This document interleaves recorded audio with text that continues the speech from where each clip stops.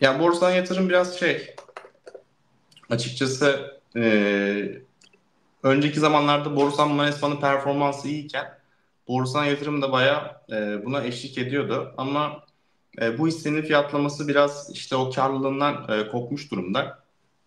Şimdi yayının başında biraz e, maliyetlerden bahsettim. E, maliyetlerle birlikte e, şey de önemli. E, işte çarpanlar ve değerlemeler de önem arz ediyor. Böyle Borusan Yatırım gibi işte 45 FK'lı şirketler e, volatilitesi çok yüksek oluyor. Piyasaya çok e, hassasiyet gösterebiliyor. Yani yükselişlerde tamam onlar tempolu gidebiliyor ama düşüşlerde e, aşağı yönlü marjı çok yüksek olduğu için e, ve siz nereye kadar düşebileceğini kestirmekte zorlandığınız için çünkü yani ucuz demek için çok uzak bir e, seviyede bu hisse borsana yatırım baktığınız zaman. E, biraz momentum e, şey yapmak e, momentuma oynamak zorlaşıyor bu hisseler. Özellikle yüksek faiz dönemlerinde pek önermiyorum açıkçası.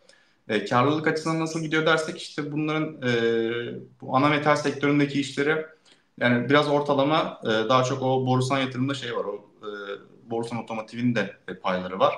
2023 yılı orada iyiydi. E, aslında hala da bir miktar satışlar iyi gidiyor. Doğuş Oto'dan vesaire görebiliyoruz.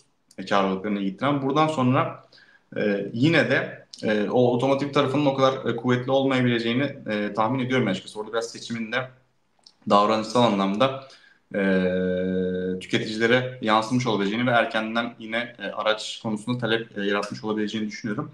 E, o, o anlamda hem e, işte faizlerin yükselmesiyle e, veya yüksek kalmaya devam etmesiyle diyeyim daha doğrusu. E, otomotiv tarafında ister istemez bir yavaşlama, yavaşlama olacaktır diye düşünüyorum hala ama yanılabiliriz yani.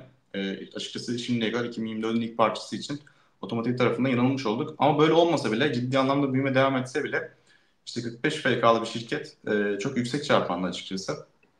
Böyle zorlu piyasalarda e, yatırımcıyı yorduğunu düşünüyorum. E, o yüzden e, çok e, sıcak olmadığımı söylemiş olayım borsan yatırım hakkında.